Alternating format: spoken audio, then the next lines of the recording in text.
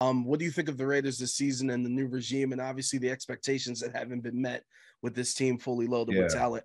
Yeah, I'll tell you what, man. You know, I I'm kind of I'm not quite eating my words, but they're on a plate in front of me, and they, you know they're, they're still kind of lukewarm.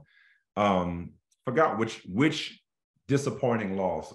I don't know if it was the Saints shutout, Jacksonville, which in hindsight doesn't look as bad given how Jacksonville looks lately, uh, or might have been after they lost to the Colts and Jeff Saturday. And at that point, I was just like, look, man, Josh McDaniels may be a, a really good coordinator. He may just be a really good coordinator who happened to be with, a, with the greatest quarterback of all time. That's okay. There's no shame in that. And I said that, that was after they, he lost to Jeff Saturday in Jeff Saturday's first game. I'm like, that's okay.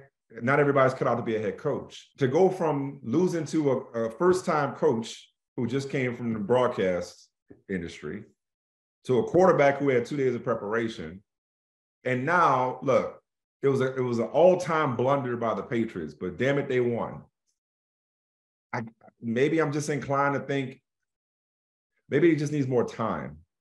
Like, you know, maybe patience. And I and I'm not a big patience. I'm not a big patient preacher. I'm not.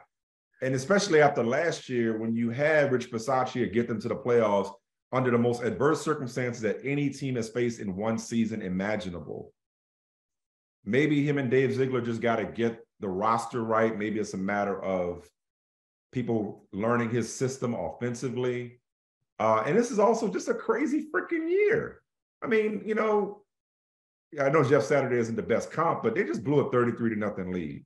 A Bill Belichick team just had the, the biggest brain cramp of all time.